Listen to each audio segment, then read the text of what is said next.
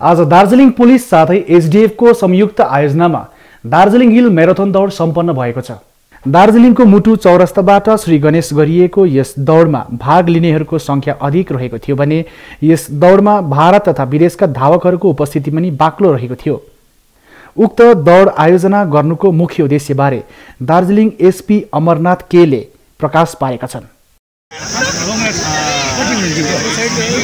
By uh, tourism department and mainly organized by Darjeeling Police.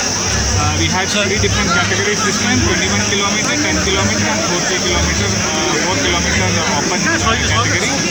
Uh, we had a lot of uh, runners participating across the world, uh, across the country, and there have been a lot of tourists participating in the event.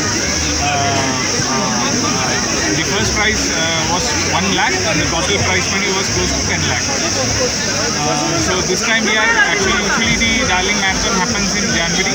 So because of the extreme weather, weather uh, issues, we have uh, preponed it to uh, November this, this time and from now onward we'll be having this annual event in now on November of every November, yeah, October festival season. So thank you for uh, thank you all for supporting us and uh, the total participation has been close to 3,500. The exact number because today also we had a lot of sports registration.